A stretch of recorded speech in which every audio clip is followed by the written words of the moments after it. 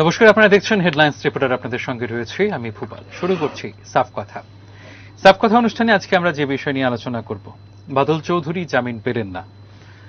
উচ্চ আদালতে তার আইনজীবীরা সওয়াল করেছিলেন বাদল চৌধুরীকে জামিন দেওয়ার জন্য। তারা চেষ্টা করেছিলেন যে এই মামলায় প্রাথমিকভাবে তার বিরুদ্ধে কোনো অভিযোগ নেই এবং তার পক্ষের আইনজীবীরা বলার চেষ্টা করেছেন যে মেডিকেল গ্রাউন্ডে তাকে যেন জামিন দেওয়া হয়। কিন্তু আদালত এই ফৌজদারি মামলায় তার মানে তার জামিনের আবেদন কার্যত নাকচ করে দিয়েছে এবং বলেছে যে না জামিন এখন হবে না। উচ্চ আদালতের বিচারপতি অরিন্দম লোধের বেঞ্চে এই আবেদনটি হয়েছিল এবং তিনি আজ এই নির্দেশ দিয়েছেন। আমরা আহ, আলোচনা শুরু করব। আমাদের সঙ্গে রয়েছেন একেবারে ডান দিকে রয়েছেন রাজ্যের বিধায়ক সুশান্ত চৌধুরী এবং রয়েছেন ত্রিপুরা পুলিশের অবসরপ্রাপ্ত অধিকর্তা নন্দন সরকার। আলোচনা যাওয়ার আগে আমরা একবার শুনে নেব অ্যাডভোকেট জেনারেল অরুণ কান্তি ভৌমিক এই নির্দেশ সম্পর্কে কি বলছেন। বেল রিজেক্ট করেছে, কারণ হচ্ছে ওনার বিরুদ্ধে অফেন্সের প্রাইমাফেসি এভিডেন্স আছে। প্রাইমাফেসি প্রাথমিকভাবে ওনার বিরুদ্ধে ফৌজদারি মামলা চলে এবং ফৌজদারির অভিযোগের সত্যতা প্রাইমাফেসি আছে।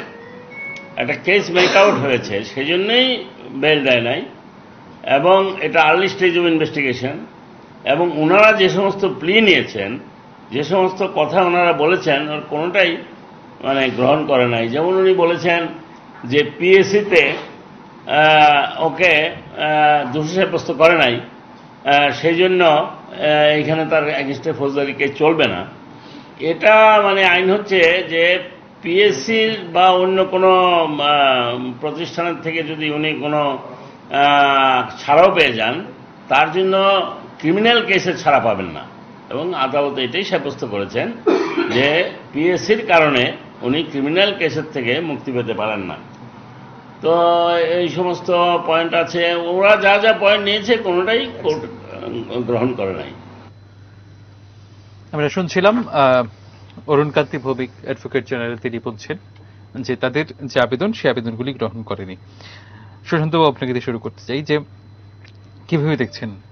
প্রাথমিকভাবে আদালত মনে করেছে এই মামলাটার মধ্যে সারবত্তা রয়েছে। আহ, কীভাবে ব্যাখ্যা করবেন বিষয়টাকে? দেখুন এটা এমন একটা বিষয়। বাদল চৌধুরী ব্যক্তিটাও বহু চর্চিত বহু পরিচিত ব্যক্তি। এবং বর্তমান বিধায়ক সিপিআইএম দলের বিধানসভায় উপনেতা এবং রাজ্যের হেভিওয়েট প্রাক্তন মন্ত্রী। এবং আমরা জানি যে মুখ্যমন্ত্রী মানিক সরকারের পরেই ওনার স্থান ছিল হ্যাঁ, হ্যাঁ, প্রাক্তন হ্যাঁ। মুখ্যমন্ত্রী। এবং তিরাশি সাল থেকে অষ্টআশি সাল পর্যন্ত তদানীন্তন নৃপেন চক্রবর্তীর মন্ত্রিসভায় উনি কৃষিমন্ত্রী ছিলেন।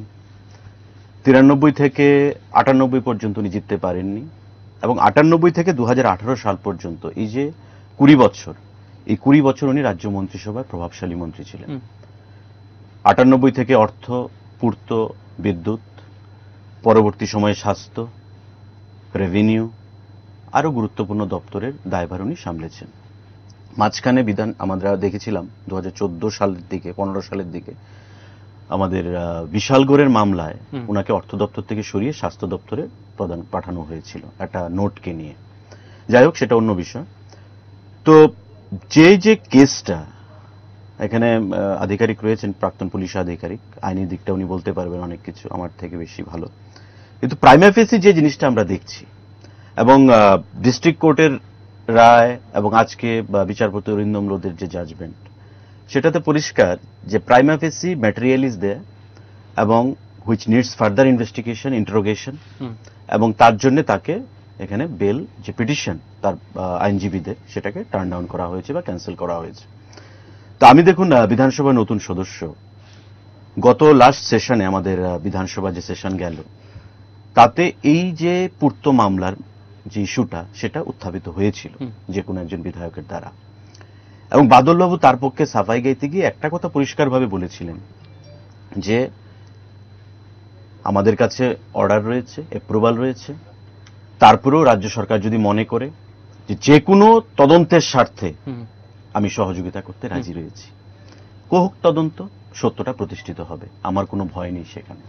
তো আমার যেটা প্রশ্ন দেখুন বাদলবাবু অভিজ্ঞ লোক বয়োজ্যেষ্ঠ লোক সেদিকে আমি সম্মান জানিয়ে বলছি যে আমরাও তো ওনার কাছ থেকে শিখি। আর বিধানসভা হচ্ছে ল মেকিং বডি একটা রাজ্যের সব থেকে হাইয়েস্ট অ্যাপেক্স বডি সেটা হচ্ছে বিধানসভা। তো বিধানসভার আমরা সদস্য উনিও বর্তমান সদস্য প্রাক্তন মন্ত্রী। উনি যেখানে বলেছেন যে আমি সহযোগিতা করব আজকে আমরা দেখেছিলাম ডিস্ট্রিক্ট জাজ যখন রায় প্রদান করলেন তারপর থেকে উনি পালিয়ে বেরিয়েছেন। এবং রাজ্য সরকারের পুলিশ ডিআইজি থেকে শুরু করে এসপি ডিএসপি ওসি সেখানে সাসপেন্ড হয়েছে ডিআইজি কে সরিয়ে দেওয়া হয়েছে। এই জিনিসটা কেন ঘটলো? উনি কোপারেট করেননি। উনি লুকিয়ে বেরিয়েছেন। এবং পরবর্তী সময় শারীরিক অবস্থার অবনতি দেখে উনি নিজে থেকে সোয়ামোটো সেখানে আইএলএস হাসপাতালে গিয়ে ভর্তি হয়েছেন। রাজ্য সরকারকে কোপারেট করলেই পারতেন অ্যাজ পার হিজ কমিটমেন্ট যেটা উনি করেছিলেন আগে সেটা উনি করেননি। তো আজকে হাইকোর্টে ওনার বিকাশ ভট্টাচার্য বা এখানকার স্থানীয় উকিলরা যে পিটিশন করেছেন সেটা টার্ন ডাউন হয়েছে নিশ্চয়ই যেহেতু sub judice matter it would be too early to predict anything or comment anything সেক্ষেত্রে এবং আমাদের ডিস্ট্রিক্ট জাজ যে রায়টা জাজমেন্টটা দিয়েছে সেটা আমি জাস্ট একটা গ্লিমস আমি দেখেছি যে সেটাই বলেছে there are sufficient prima facie materials and it is admitted that misappropriation fund of fund government fund from government exchequer was there so it which needs further investigation হ্যাঁ টু আন আনার তো reveal the truth তো সেই জিনিসটা করতে হবে সেটা কীভাবে হবে? হ্যাভিং থোরলি ইনভেস্টিগেশন এটা পুলিশের আধিকারিক সেটা বলতে পারবেন তো আমার যেটা ধারণা যে এটা দু হাজার আট নয়ের ঘটনা এবং ten percent deviation.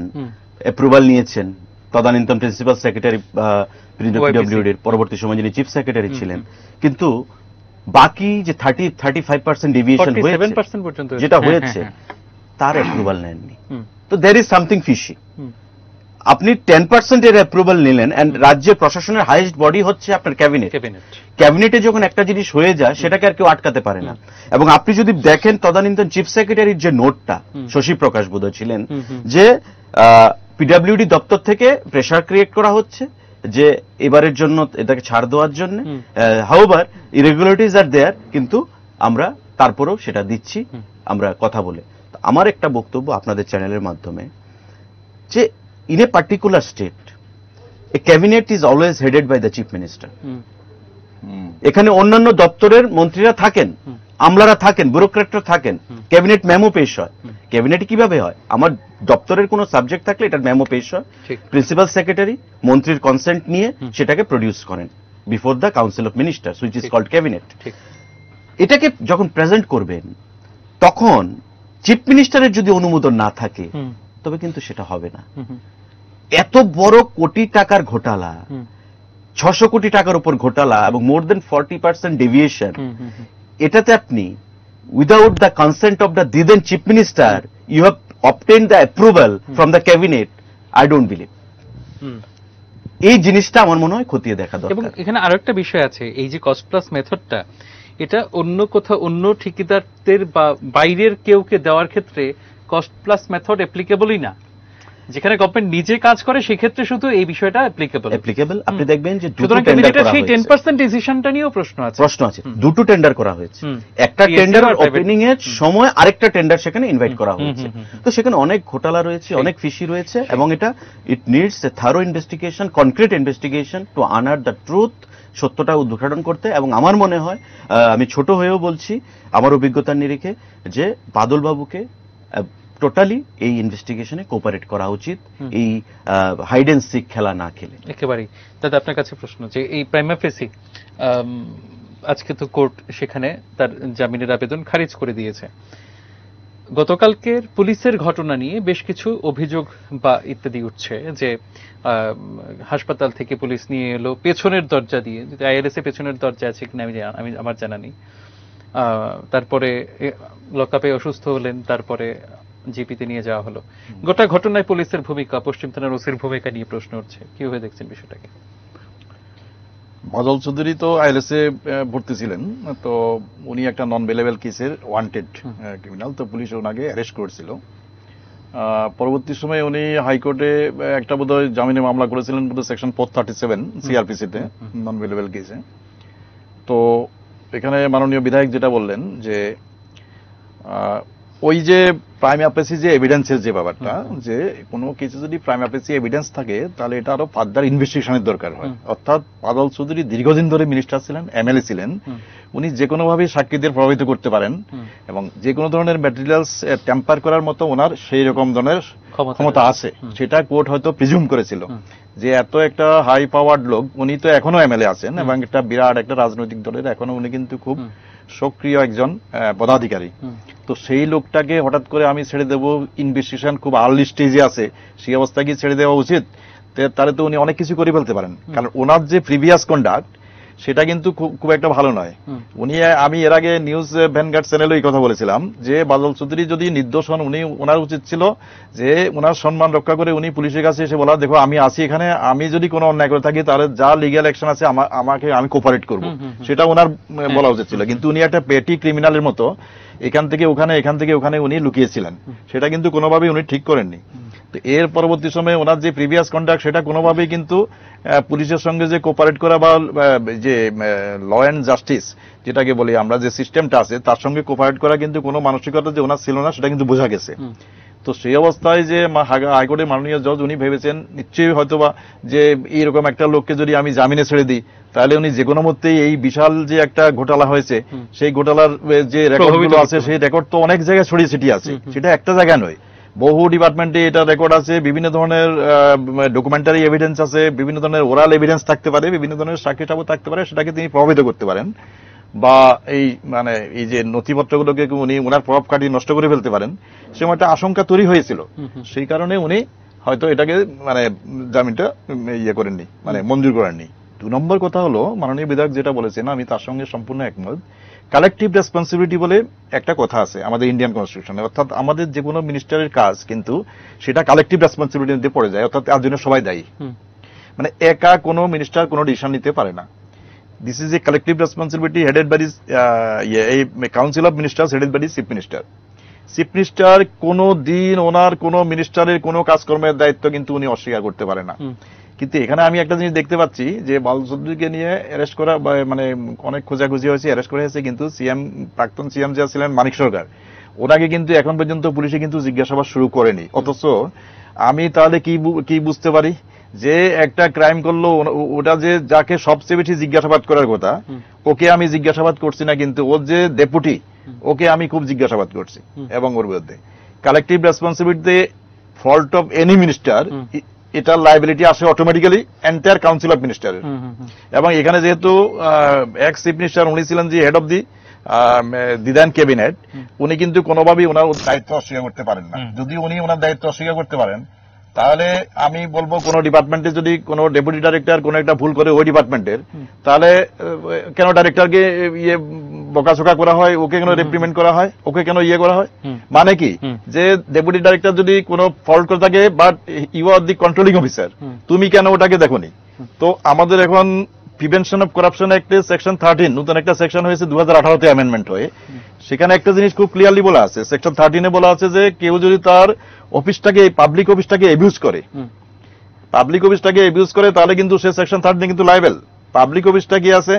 All the ministers and MLAs they are public servant government servant নয় there is a difference between government servant and the public servant section twenty one of the Indian penal কোডে কিন্তু এটা definition দেওয়া আছে who are the public servants পাবলিকের related যে কোনো ধরনের কাজ করলে কিন্তু অটোমেটিক্যালি সে ওইখানে public servant in that sense এরা কিন্তু পাবলিক সার্ভেন্ট যে minister they are public servant তো পাবলিক সার্ভেন্টের জন্য যে প্রিভেনশন অফ করাপশন অ্যাক্ট আছে সেখানে পাবলিক অফিস এবিউজ করা অর্থাৎ আমি একজন মিনিস্টার আছি পিডাব্লিউডি মিনিস্টার তাহলে আমি কি করলাম? এখানে আমি যদি আমি ধরেই নিই যে এখানে ইয়ে ক্যাবিনেটের অ্যাপ্রুভাল ছিল তারপরে আমি যখন ডেভিয়েশনটা করলাম তাই তো আমি এক নম্বর হলো রুলস অফ এক্সিকিউটিভ বিজনেস যেটা মিনিস্টারের মধ্যে থাকে সেটা আমি ভায়োলেট করলাম। দু নম্বর হলো ওরা বলছে এসএবির কথা সাপ্লাই অ্যাডভাইজারি বোর্ড বা ওয়ার্ক অ্যাডভাইজারি বোর্ড যেটা আছে। সেটা তো একটা লিমিটেড পাওয়ার আছে subject to the general control of the cabinet cabinet first যখন বলেছে টেন পার্সেন্ট এখানে ডেভিয়েশন আমরা ম্যাক্সিমাম করব সেখানে এটা তো একটা মানে গীতার মন্ত্রের মতো। সেখানে without approval of the full cabinet আমি তো কোনোভাবেই সেটা এটাকে এক পার্সেন্টও বাড়াতে পারি না। যে মুহূর্তে এক পার্সেন্ট বাড়ালাম মানে আমি আনডিউ ফেভার করছি কোন একটা ফার্মকে এটা আনডিউ ফার্ম সেটা প্রিভেনশন অফ করাপশন একটি বলছে this is a criminal misconduct and a criminal offence আচ্ছা। নতুন যেটা অ্যামেন্ডমেন্ট হয়েছে। তো সেদিক দিয়ে দেখতে গেলে এত বড় যে ছোট একটা স্টেটে এত বড় ঘোটালা হয়ে গেছে সেই ঘোটালার টাকাটা বা কোথা গেল সেটা আমার মনে হয় না যে একা একজন লোক খেয়েছে বলে। আমার তো মনে হয় এই বিপুল পরিমাণ টাকা ব্যাংকে রাখার জন্য বিভিন্ন ধরনের প্রসেস অ্যাডপ্ট করতে হয়। সেটা একজন লোকের পক্ষে কোনো মধ্যে সম্ভব না দুশো টাকাকে গিলে ফেলা। সেগুলো বিভিন্ন জায়গায় ছড়িয়ে ছিটিয়ে আছে টাকাগুলো।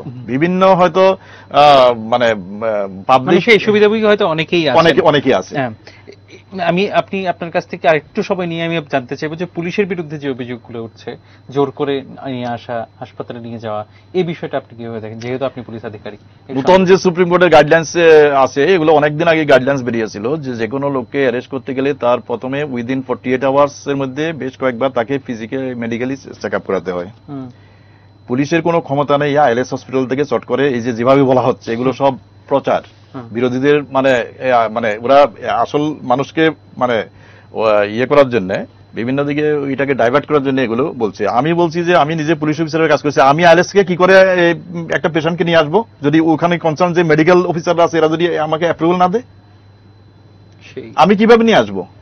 আমি একটা আইএলএস এর মতো একটা হসপিটাল থেকে আমি একজন পেশেন্ট এবং যেমন তেমন পেশেন্ট নয় এক্স মিনিস্টার দীর্ঘদিন ধরে মিনিস্টার ছিলেন একটা রাজনৈতিক দলের প্রভাবশালী উনি সদস্য। এবং এরপরে উনি বিভিন্ন সময় মিনিস্টার ছিলেন। ওনাকে পুলিশ অফিসাররা এতই বোকা যে চট করে আইএলএস থেকে জোরে টেনে হিস্ট্রি নিয়ে আসবে। মেডিকেল অফিসাররা অ্যাপ্রুভাল দিয়েছিল। একেবারেই। সুন্দর এই ইস্যুতে দেখলাম আমরা সিপিআই মিছিল করেছে গতকালকে হেডেড বাই মানিক সরকার। এবং এর আগেও দেখা গেছে বিভিন্ন সময় কেন গ্রেপ্তার করা হবে তা গ্রেপ্তার করা ইয়ে নয় আত্মগোপন করেছেন ইত্যাদি ইত্যাদি তথ্য। একটা সহানুভূতির একটা চেষ্টা হয়েছে। বিষয়টাই কি হয়ে দেখছেন? দেখুন এখন তো দেয়াল মানে left with no other alternative CPIM এর কাছে আর কোনো ইস্যু নেই। আমি জাস্ট স্মরণ করিয়ে দিতে চাইব আপনাদেরকে। এত বড় করাপশন চার্জ তারা যখন শাসক দলে ছিল এসছিল। কি? ব্লকের ঘোটালা। যেটা বিশালগড় দিয়ে শুরু হয়েছিল এবং তদানীন্তন ডিওএফএস সেক্রেটারির অমল চক্রবর্তীর ভাই। বিমল চক্রবর্তী তার নামে সে অ্যারেস্ট হয়েছে। এখনও বোধহয় সে সাসপেনশনে রয়েছে। যখন বলা হলো আমরা তখন বিরোধী দল করতাম। যখন বলা হলো তখন সিপিআইএম দল প্রথম রিফিউজ করল। যে না এটা আমাদেরকে কালিমালিপ্ত করার জন্য বামফ্রন্ট সরকারকে কালিমালিপ্ত করার জন্য এই চক্রান্তটা করা হচ্ছে। পরবর্তী সময় যখন কেস হলো অ্যারেস্ট হলো এবং পরবর্তী ঘটনা আপনাদের জানা তখন বলল যে ঠিক আছে আমরা দেখছি ব্যাপারটা আমরা মেনে নিয়েছি। ঠিক আছে। তো সেম ঘটনা। এটা শুধু একটা ব্লকের কেলেঙ্কারির কথা আমি বলেছি এবং পরের সময় পরবর্তী সময় আমরা দেখেছি যে বিভিন্ন ব্লকে। পেচারথল দশদা হেজামারা সাতচাঁদ প্রতিটি ব্লকে র্যাম্পেন্ট কারাপশন ছিল। খুব অর্গানাইজড ওয়েতে তো। এই রেফারেন্সে আমি বলতে চাইব বর্তমান যে ঘটনা এখন তারা বিরোধী দলে আছে তদানীন্তন সময়ে তারা শাসক দলে ছিল। একটা সময় আসবে যখন এটা প্রমাণিত হবে যে এই যে ঘোটালা সেই ঘোটালাটা মাননীয় পূর্বতন পুলিশ আধিকারিক যেটা বললেন যে টাকাটা অনেক জায়গায় ডিস্ট্রিবিউশন হয়েছে। মুখ্যমন্ত্রী বলছেন চোরের দল একেবারে সরাসরি বড় ধরনের অভিযোগ। এবং আমি তো আরেকটু বলছি মুখ্যমন্ত্রী বলছেন এবং আমাদের ল মিনিস্টার শিক্ষামন্ত্রী যিনি পরশুদিন প্রেসমিট করে বললেন যে মানিক বাবুই সমস্ত তথ্য দিয়েছেন। এটা ওপেন সিক্রেট নাও তো সমস্ত কিছু মানে নাথিং ইজ রুলড আউট কোনো অপশনেরই সেখানে যে আমি রুল আউট করে দিচ্ছি এমন কিছু না। এটা ইনভেস্টিগেশন হবে। আমি আবারও বলছি যে সাবজুডাইজড ম্যাটার আমরা যারা রেসপন্সিবল সিটিজেন বিভিন্ন পদে আমরা রয়েছি আমাদের টু তারা চাইছে একটা সিম্পেথি ওয়েব তৈরি করা। গতকাল একটা এমন পরিবেশ তৈরি করার চেষ্টা করা হয়েছে যে পুলিশ নাকি মারধর করেছে পুলিশ নাকি জোর করে এনেছে এবং মানে correctly set by mister Nandan Sarkar যে আইএলএস একটা রিপুটেড একটা হসপিটাল সেখান থেকে মেডিকেল সামারি রয়েছে ডিসচার্জ সার্টিফিকেট রয়েছে। ডিসচার্জ সার্টিফিকেট ছাড়া একটা পেশেন্টকে আইসিইউতে অ্যাডমিট একটা পেশেন্টকে পুলিশ তো এইভাবে আনতে পারে না। তবে আনলে তো আজকে থেকে সাত দিন আগেই আনতে পারতো। যেদিন অটো করে গিয়ে সোয়ামোটো উনি ভর্তি হয়েছেন সেদিনই ওনাকে অ্যারেস্ট দেখিয়ে সেখানে আনতে পারতো। অ্যারেস্ট করা হয়েছে হসপিটাল রাখা হয়েছে পরবর্তী দিনই আনা যেত কিন্তু আনা হয়নি। Our government is not so inhuman যে একটা আইসিইউতে ভর্তি থাকা একটা পেশেন্টকে যিনি বিধায়ক এবং রাজ্যের প্রাক্তন মন্ত্রী although his accused main accused person কিন্তু তারপরেও চিকিৎসার সুযোগ দেওয়া হয়েছে। বারবার সরকারের ডাক্তাররা চারজন পাঁচজন ডাক্তারের বোর্ড তৈরি করে তাদেরকে পাঠানো হচ্ছে। গতকাল যখন on the basis of the discharge summary এবং on the basis of the report obtain from the ILS authority তাদের ভিত্তিতে যখন তাকে আনা হয় যে তাকে অ্যাম্বুলেন্সে করে আমরা দেখেছি ফুটেজে ওয়েস্ট পিএস আনা হয়েছে। উনি কোপারেট করছিলেন না। এবং উনি পরিষ্কার ভাষায় সংবাদ মাধ্যমের কাছে বলছিলেন যে আমাকে মারধর করা হয়েছে আমাকে মারধর করা হয়েছে। আমি বলব একটা ফুটেজ দেখানো হোক যে পুলিশ ওনাকে মারধর করেছে। এখন পুলিশ পুলিশের কাজ করবে। হুম। Law will take its own course police তার প্রশাসনের কাজ করবে। ওনাকে বোঝানো হচ্ছে আমি বারবার বুঝি এসডিপি ওসি স্যার আপনি কোপারেট করুন। স্যার উঠুন। স্যার আপনি এখানে যান যেতে চাইছেন না। না আমি যাব না। উনি গায়ের জোরে কথা বলছেন। তো স্বাভাবিকভাবেই পুলিশ দু চারজন মিলে ধরে ওনাকে সরিয়ে দিতে চাইছেন। তো সেই জিনিসটা করা যদি মারধর হয়ে থাকে তবে আমি মনে করব উনি সিম্পেতির একটা হাওয়া তৈরি করতে চাইছেন রাজ্যে এবং মাননীয় বিরোধী দলনেতা প্রাক্তন মুখ্যমন্ত্রী মানিক বাবুও গতকালকে আমরা দেখেছি যে মিছিলে বেরিয়েছেন এবং তার আগেও এক দুটো মিছিলে ওনাকে দেখেছি। কিন্তু বিধানসভায় যখন এই ইস্যুটা নিয়ে কথা হয়েছিল মানিকবাবু কিন্তু চুপ ছিলেন। এবং এখন পর্যন্ত মানিকবাবু সাংবাদিক সম্মেলনের মাধ্যমে বা মিডিয়ার সামনে কিন্তু মুখ খুলেননি। হুম, let Manik Sarkar come out with a statement আমি দাবি করছি। যে yes the then cabinet was headed by me আমি ক্যাবিনেটকে চেয়ার করেছি। এ এই ধরনের অ্যাপ্রুভাল ছিল কি ছিল না। Whether approval was obtained hmm. ওই কাজটাকে এক্সিকিউট করতে গিয়ে গতকাল আমাদের পক্ষ থেকে মানিক সরকারকে মানিক সরকারকে বলা। চেষ্টা করা হচ্ছিল বাদল বাবু তো ছিলেন পূর্ত দপ্তরের মন্ত্রী। গতকাল যখন মিছিল হচ্ছিল তখন আমাদের সাংবাদিকই মানিক সরকারকে জিজ্ঞেস করার চেষ্টা করেছিলেন যে আপনি এই বিষয়ে কিছু বলুন। কোনো কথা না উনি বলবেন না। উনি বরাবরই মৌন বাবা মানে বিগত দিনেও আমরা দেখেছি। রাজ্যে অনেক ঘটনা ঘটেছে কেলেঙ্কারি ঘটেছে ধর্ষণ ঘটেছে খুন হয়েছে অনেক কিছু হয়েছে। আপনারা দেখেছেন আপনারা তো সংবাদ জগতে আছেন। কোনো সময় নিজে প্রেস মিট করে সাংবাদিক সম্মেলন করে কোনো ঘটনার নিন্দা জানাতে, বা কোনো ঘটনাকে সমর্থন করতে, বা কোনো ঘটনাকে অপোজ করতে, কোনো সময় উনি করেননি। উনি বরাবর টার্গেটে ছিলেন যে আমার মুখ্যমন্ত্রীর চেয়ারটাকে বাঁচিয়ে রাখতে হবে, সুতরাং কোনো রাজ্য জাহান নামে যাক। এবং সেই জিনিসটা আজকেও কিন্তু তিনি করছেন। আমি এই ইস্যুতে আপনার কাছে পরের প্রশ্নে আসব। খুবই একটা নতুন দিকে আপনি গেছেন চেয়ার নিয়ে। তার আগে আপনার কাছ থেকে জানতে চাইছি যে এখন এখন ওনাকে কোর্টে প্রডিউস করা সম্ভব হচ্ছে না। এখন মামলাটার গ্রামাটিক্যাল ডেভেলপমেন্ট কি হবে?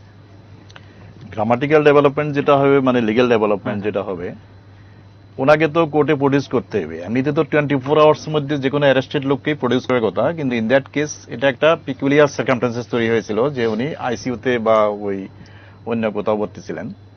তো সেটা টাইম টু টাইম হয়তো কোর্টকে জানানো হয়েছে। যে কনসার্ন যে সিজিএম আছে বা ওদের জানানো হয়েছে যারা জুরিডিকশনাল ম্যাজিস্ট্রেট ওদের জানানো হয়েছে।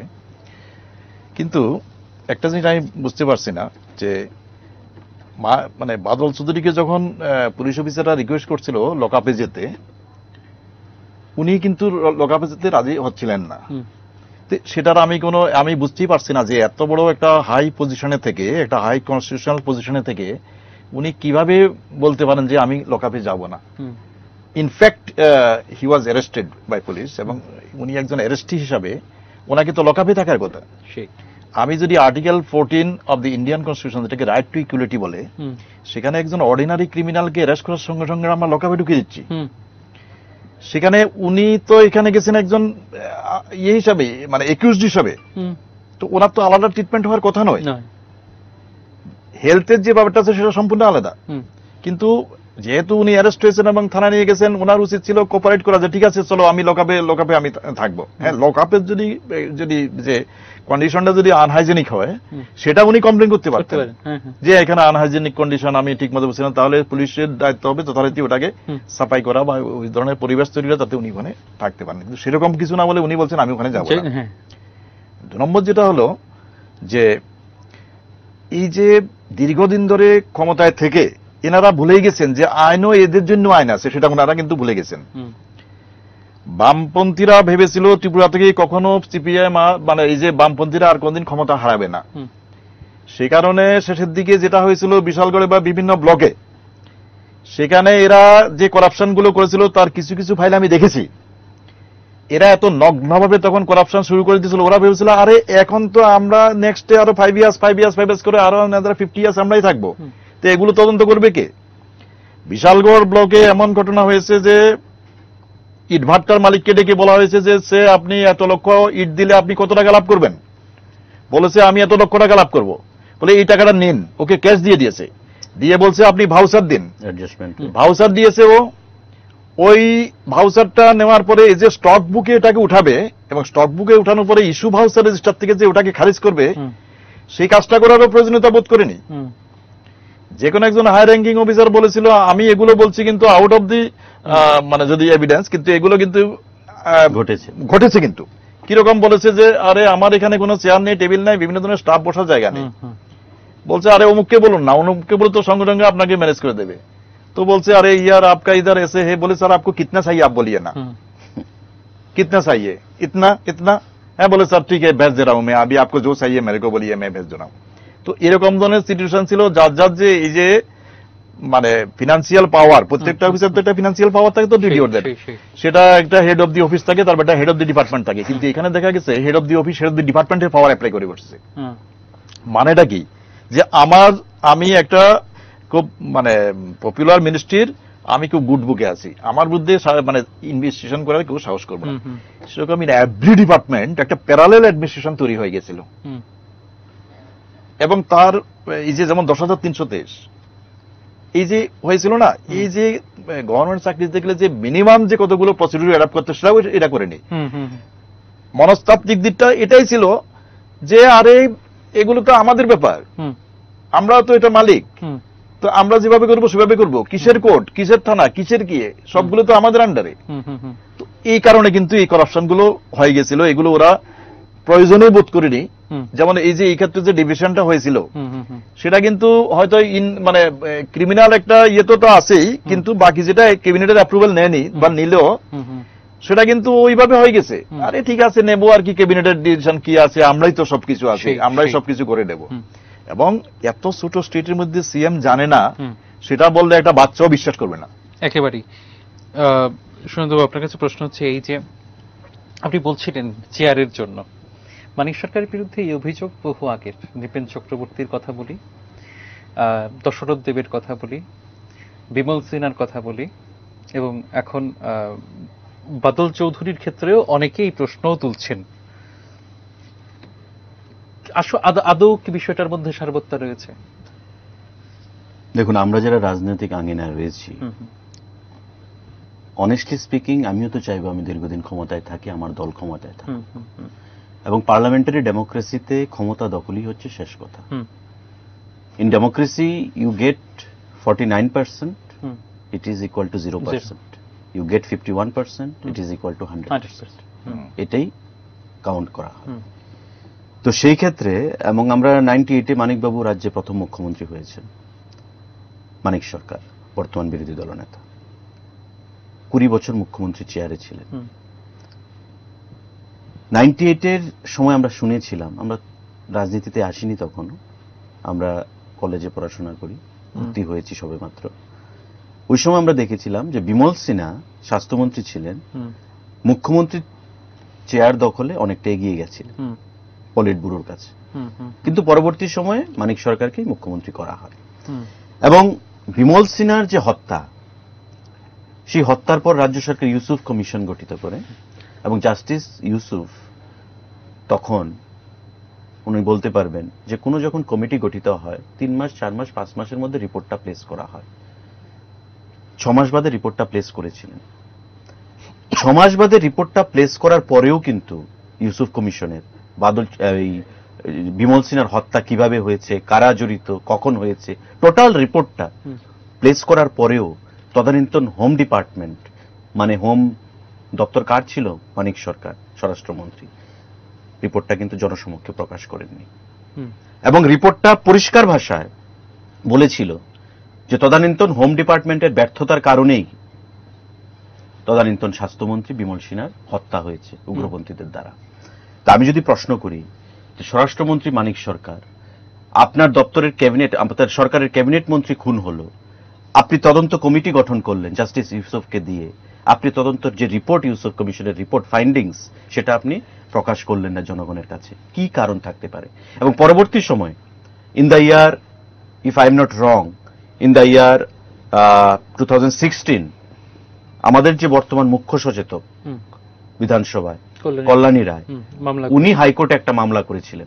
এবং ওই হাইকোর্টের মামলার পরিপ্রেক্ষিতে রাজ্য সরকার ইউসুফ কমিশনের রিপোর্ট জনসমক্ষে প্রকাশ করে টেবিল করে বিধানসভার ভেতরে। হ্যাঁ। স্বরাষ্ট্রমন্ত্রী মুখ্যমন্ত্রী মানিক সরকার এবং আপনি যদি ইউসুফ কমিশনের রিপোর্টটা দেখেন ফার্স্ট টু লাস্ট একটাই জিনিস ইউসুফ কমিশন মানে পরিষ্কারভাবে বলেছে যে it was the utter failure of the then home ministry or home. ইয়েতে তো হোম মিনিস্টার কে ছিলেন?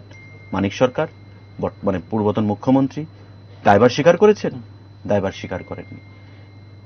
দায়ভার স্বীকার করেননি। তো রাজনৈতিকভাবে যদি আমি বলি যে যেহেতু বিমল সিনহা সেদিন মুখ্যমন্ত্রীর চেয়ার দখলে অনেকটা এগিয়ে গেছিলেন পলিট ব্যুরোর কাছে। এবং রাজ্যের অধিকাংশ বাম বিধায়কের সমর্থন ওনার সঙ্গে ছিল তাই ওনাকে সরিয়ে দেওয়া হয়েছে। Let it be challenged and I am banking on the Yusuf commission report Yusuf কমিশনের রিপোর্টের যদি আমি বেস করি আমি তার ভিত্তিতে আমি সেটাই বলব। আদারওয়াইজ হোয়াট প্রম্পটেড ইউ যে আপনি ছ মাস পরে রিপোর্ট প্লেস করা হলো? সেই রিপোর্টটা আপনি সতেরো বছর আপনি লাগালেন মানুষের সম্মুখে প্রকাশ করতে। কেন করলেন না? যে কোনো জিনিসের যখন কোনো ঘটনা ঘটে কোনো কমিটি গঠন করা হয় কমিটি রিপোর্ট প্লেস করে ইনভেস্টিগেশন করে সেটাকে ফাইন্ডিংস হিসেবে রিপোর্ট প্লেস করে। কিন্তু কোনো রিপোর্টটাকে তো আপনি প্লেস মানে জনসমক্ষে প্রকাশ করলেন না। কারণ আপনার উপরই দায়ভার আসবে। সরকারের উপর দায়ভার আসবে। আমি এটাকে চক্রান্ত বলতেই পারি।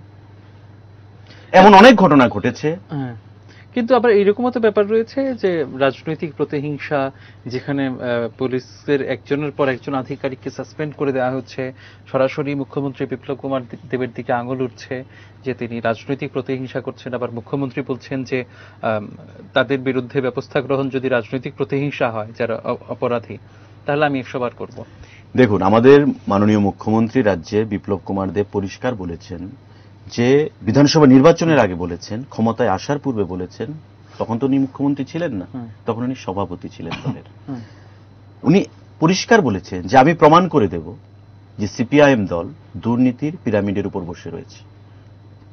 এবং দ্যার ইজ এ নেক্সাস যারা দুর্নীতিবাজ তাদের সাথে মন্ত্রীদের কিছু কিছু আমলাদের সেখানে যোগাযোগ রয়েছে। এবং পঞ্চায়েত থেকে মহাকরণ পর্যন্ত এই যে চেইনটা নেটওয়ার্কটা সেই জিনিসটা আমি প্রমাণ করে দেব।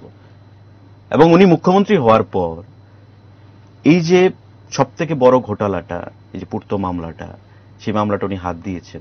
এবং আজকে মামলাটা যে জায়গায় রয়েছে সেটা রাজ্যবাসী ইতিমধ্যে জেনে গেছেন যে কিছু তো একটা হয়েছে। কারণ মাননীয় নন্দনবাবু যেটা বললেন। যে দু আটে মাত্র সবে তারা ক্ষমতায় এসেছিল। আট নয়ের কাজ এটা। অহংকারে বশীভূত ছিলেন যে আমাদেরকে কে হারাবে? তেরো নির্বাচনেও তারা জয়ী হয়েছে। কেউ না ভাবতে পারেননি যে এগারো বছর বাদে এই পুরনো মামলাটা সেখানে আবার মাটি খুঁড়ে বের করা হবে। এবং বিপ্লব দেব যেটা কমিটমেন্ট করেছেন সেটা করেছেন। এবং দুর্নীতির বিরুদ্ধে যদি জেহাদ ঘোষণা করাটা অন্যায় হয় it is government money public money আমাদের রাজ্যের মানুষের ভারতবর্ষের মানুষের ট্যাক্স থেকে সেই টাকা আসে ডেভেলপমেন্টের বিভিন্ন আসে। কেন্দ্রীয় সরকার টাকা দিচ্ছে। এটা যদি রাজ্য মানুষের উন্নয়নের জন্য খরচ হতো একশো বার সেটা আপনি ডিভিয়েশন করুন। কিন্তু এই যে ডেভিয়েশনটা সেই টাকাটা কোথায় গেছে? Each and every government money has to be accounted for এখানে আপনি মন্ত্রী আপনি সেটা দায়ভার নিতে হবে আপনাকে। আপনাকে দায়ভার নিতে হবে পালিয়ে বেড়াচ্ছেন কেন? এবং আমি তো আমি দায়িত্ব নিয়ে বলছি যে তদানীন্তন ক্যাবিনেট যিনি চেয়ার করেছেন headed by hmm hmm, the then chief minister let him also be interrogated hmm, let him also cooperate the administration the investigation করা উচিত। সত্যটা আনার হোক। এখানে মিছিল মিটিং করে ওই মানে মরে যাওয়া সংগঠনকে বাঁচানোর যে চেষ্টা হচ্ছে, সারা যেটা সিম্পেথি হাওয়া তৈরি করে মিথ্যা কথা বলে, যে বাদুলবাবুকে মারা হচ্ছে, বাদুলবাবুকে পেটা হচ্ছে, বাদুলবাবুর কোনো শারীরিক অঘটন ঘটলে বর্তমান সরকার দায়ী থাকবে, মুখ্যমন্ত্রী দায়ী থাকবে, সেটা তো আইন তো আইনের পথে চলে। তবে ভারতবর্ষের প্রাক্তন অর্থমন্ত্রী পি চিদাম্বরমকে সেখানে। আটকানো হলো কেন? প্রিভেনশন অফ করাপশন অ্যাক্টে। কেন আটকানো হলো? অনেক কিছু এভিডেন্স রয়েছে। রবার্ট ভদ্রাকে আমরা দেখেছি। কবের ঘটনা? সেখানে গত দিনে মানে লোকসভা নির্বাচনের আগে অনেক জেরা করা হয়েছে। লালু প্রসাদ যাদব আজকে জেলে রয়েছেন। প্রাক্তন মুখ্যমন্ত্রী তামিলনাড়ুর জয়জলিতা মানে মারা গেছেন উনি। লালু প্রসাদ যাদব কিন্তু পালিয়ে বেড়ান পালিয়ে বেড়ান উনি তিহার জেলে রয়েছেন। জয়ললিতা মুখ্যমন্ত্রী ছিলেন। শশীকলা আজকে জেলে রয়েছেন। এমন অনেক উদাহরণ রয়েছে। ওম প্রকাশ চৌতালা হরিয়ানার প্রাক্তন মুখ্যমন্ত্রী ওনার ছেলে জেলে রয়েছেন।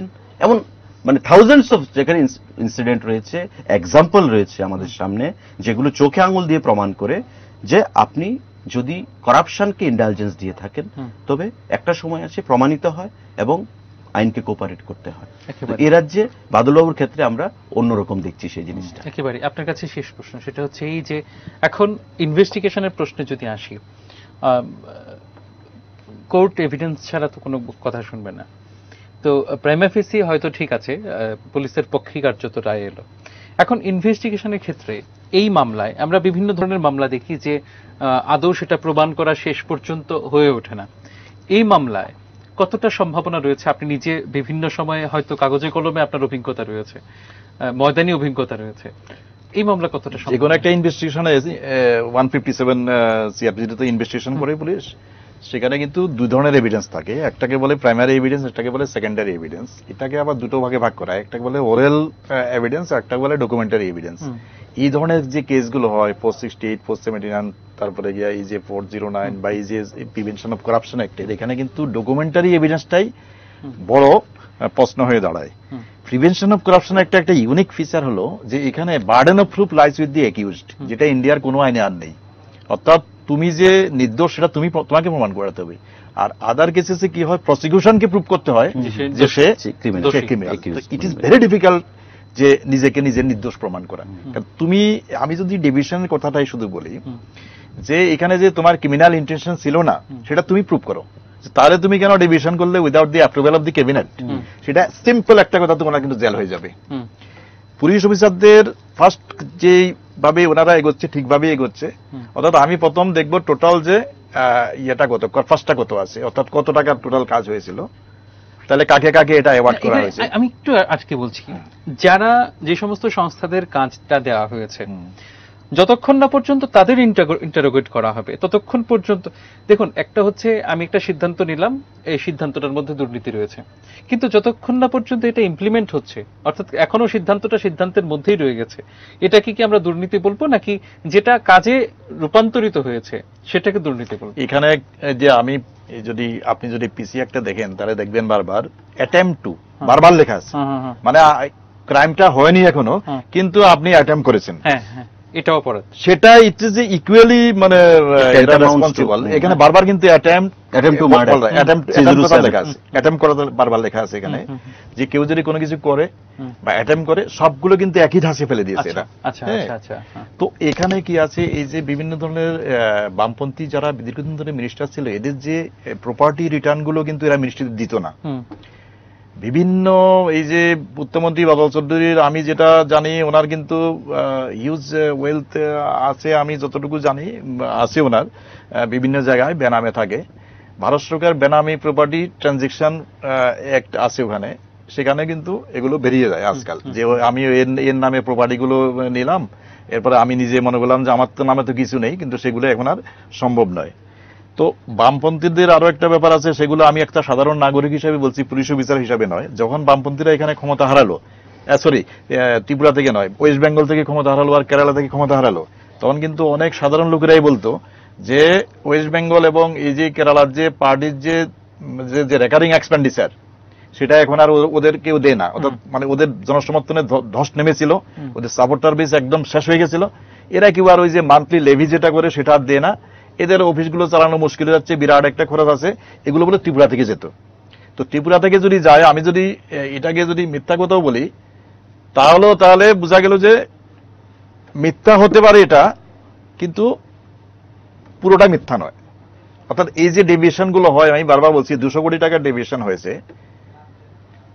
কনসার্ন যে এজেন্সিগুলো যে যারা কাজগুলো নিয়েছিল এদের থেকে এরা খুব এক্সপার্ট উইথে টাকাটা আদায় করে নিত। হুম। যেমন এই যে ফ্লাইওভারটা হয়েছে আমি সাধারণ নাগরিক হিসাবে বলছি ফ্লাইওভারে যে টোটাল ডিপিআরটা আছে ডিপিআরগুলো তৈরি করা হয়েছে যে কোনো একটা কোম্পানিকে কিন্তু একটা এক্সট্রা ফেসিলিটি পাইয়ে দেওয়ার জন্য। বলে তোমাকে আমি এই এই জিনিসগুলো আমি ডিপিআর রেখে দিচ্ছি। তোমার এগুলো ইমপ্লিমেন্ট করতে হবে না। এর জন্য যে টাকাটা বরাদ্দ আছে সেটা তুমি আমাকে ওই- ওই সেই ব্লক কেলেঙ্কারির মতো। হ্যাঁ ওইটা আমাকে তুমি দিয়ে দাও। দীপক গুপ্তা যখন এখানে চিফ জাস্টিস ছিলেন উনি কিন্তু বলেছিলেন যে বিশালগড়ের মতো এরকম প্রত্যেকটা ব্লককে অডিট করাতে। হ্যাঁ হ্যাঁ হ্যাঁ। অডিটটা করাতে হবে ইন্ডিপেন্ডেন্ট কোন সিএ ফার্মকে দিয়ে আর না হলে করাতে হবে এজি কে দিয়ে। এজির কাছে এত ম্যান পাওয়ার নেই এতগুলো ব্লককে ইয়ে করার জন্য। সেজন্য ইন্ডিপেন্ডেন্ট কোন একটা মানে ফার্মকে দিয়ে এটাকে অডিট করানোর কথা বলা হয়েছিল কিন্তু ওরা করেনি কিন্তু। করলে ত্রিপুরায় বিভিন্ন সময় এত রমরমা যে ওদের হয়েছে বিভিন্ন পার্টি অফিস বড় বড় যে গ্রামের মধ্যে ওদের বড় বড় ইয়ে পার্টি অফিসগুলো হয়েছে এই টাকাগুলো করতে এসছে? কোথা থেকে টাকাগুলো সেগুলো কিন্তু ওরা অনেকদিন আগে সাধারণ পাবলিক কিন্তু বুঝে গেছে যে ওরা সব সময় সব জায়গাতে মাঠে ঘাটে বলে বেড়ায় বা মানে কংগ্রেসের লোক অ্যারেস্ট হচ্ছে সবকিছু আছে কিন্তু আমাদের কোনো বামপন্থী মিনিস্টার আপনার দেখেছেন অ্যারেস্ট হয়েছে। এটা কিন্তু এগুলো বলতো। ঠিক। কিন্তু এখন দেখা গেছে কি ওদের মধ্যে কিছু অপারেটর আছে ভালো বামপন্থীদের মধ্যে। এরা কিন্তু করাপশনটা করে একটা প্রাতিষ্ঠানিক রূপ দিয়েছে। যে সব জায়গায় আমি লোক রাখব এখানে এখানে এখানে এখানে সব জায়গায় রাখব যাতে পরবর্তী সময় আমাকে কোনো ধরনের কেউ ধরতে না পারে। কিন্তু লাস্টের দিকে ওদের ক্ষমতার দর্ব এত মানে মানে এত বেড়ে গিয়েছিল যে তখন এগুলো আর মেনটেন করেনি। দরকার নেই। কি আছে আমরা চাচ্ছি আবার। একদম শেষ শেষ প্রশ্ন। সুরেন্দ্রবাবু এই গোটা মামলা নিঃসন্দেহে রাজ্যের রাজনীতিতে একটা বড় রকমের প্রভাব ফেলেছে। সেটা আপনাদের দলের হোক সিপিএম এর হোক এবং সম্প্রতি আহ, গোপাল রায় একটা স্টেটমেন্ট শুনলাম যে তিনি এই বাদল চৌধুরীকে অমানবিকভাবে মানে মানবাধিকার খণ্ডন করা হয়েছে বাদল চৌধুরী ইস্যুতে। সার্বিক ক্ষেত্রে নিজেদের দল এবং বিরোধী রাজনৈতিক দলকে কীভাবে দেখছেন? শেষ প্রশ্ন এটা আপনার কাছে। দেখুন আমাদের দল সরকার চালাচ্ছে স্ট্যান্ড ক্লিয়ার মাননীয় মুখ্যমন্ত্রী বলে দিয়েছেন যে দুর্নীতির বিরুদ্ধে কোনো ধরনের আপোষ উনি করবেন না। এবং এটাই আমাদের স্ট্যান্ড করাপশনের বিরুদ্ধে all out fight zero zero tolerance করাপশনের বিরুদ্ধে। এটা আমাদের স্ট্যান্ড আইন আইনের পথে চলবে।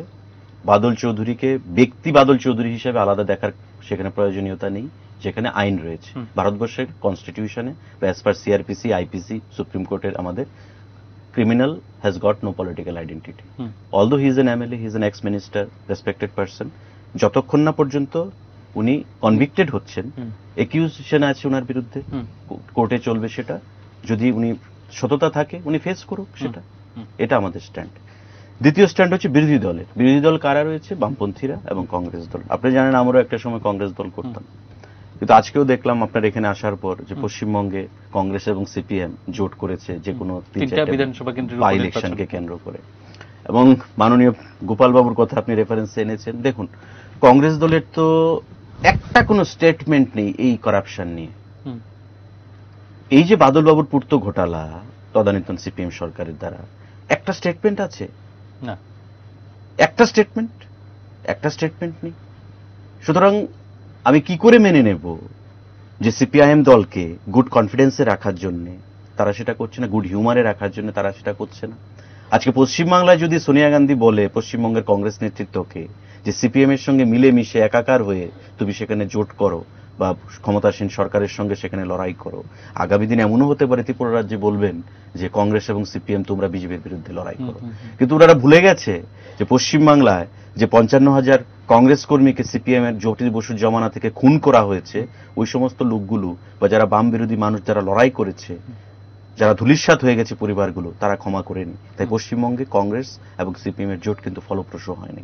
এবং আমাদের রাজ্যেও বিরোধীরা যতই কিছু বলুক কংগ্রেস এখন সিপিএমকে খুশি রাখার জন্য, সিপিএম কংগ্রেসকে খুশি রাখার জন্য, বিজেপিকে দুর্বল করার জন্য, সরকারকে দুর্বল করার জন্য, যতই তারা পলিসি করুক এ রাজ্যের মানুষও দীর্ঘদিন ধরে সাফারার পঁচিশ বছর সিপিএম এর দ্বারা। দীর্ঘদিন ধরে সাফারার ধর্মনগর থেকে সাবগ্রাম সুতরাং এ রাজ্যের মানুষও আগামী দিনে তাদের এই যে মানে প্রক্সিমিটি গুড প্রক্সিমিটি তাদের যে মিলন, সেটাকে কোনো অবস্থাতেই মানবে না। তো গোপালবাবু এটা বাদল চৌধুরীর পক্ষে সাফাই গেয়ে বিজেপির বিরুদ্ধে কথা বলে সিপিআইএমকে খুশি করার জন্য একটা সেখানে প্রচেষ্টা নিয়েছেন। হয়তো বা আগামী দিনে এটা কংগ্রেসের প্রচেষ্টা হবে। এটা দলের সেটা ইনিশিয়েটিভ হবে যাতে এক গাছ সূত্রে তারা আসতে পারে। তো আমার দৃঢ় বিশ্বাস সত্যেরই জয় হবে এবং করাপশনের বিরুদ্ধে আমাদের মুখ্যমন্ত্রী যে ফাইট ঘোষণা করেছেন সেটারই জয় হবে এবং আলটিমেটলি এই টাকা জনগণের টাকা জনগণই শেষ পর্যন্ত বিচার করবেন। এবং বাদলবাবু ব্যক্তি আলাদা নয়। বাদলবাবু থাকতে পারেন উনি বিধায়ক বা প্রাক্তন মন্ত্রী কিন্তু ভারতবর্ষের আইন অনুযায়ী আইন আইনের পথেই চলবে। হাইকোর্টে আমাদের বিশ্বাস রয়েছে জাজমেন্টের প্রতি আমাদের বিশ্বাস রয়েছে এবং আমরা বিশ্বাস করি আগামী দিনে হাইকোর্টও সে পথেই চলবে। একদম। দুজনকে অসংখ্য ধন্যবাদ আলোচনায় জন্য। এতক্ষণ সাফ কথা অনুষ্ঠানে আমরা আলোচনা করছিলাম এই মামলার গতি প্রকৃতির দিকে নিঃসন্দেহে নজর আমাদের রয়েছে। এখন এই পর্যন্তই দেখতে থাকুন হেডলাইন্স ত্রিপুরা নমস্কার।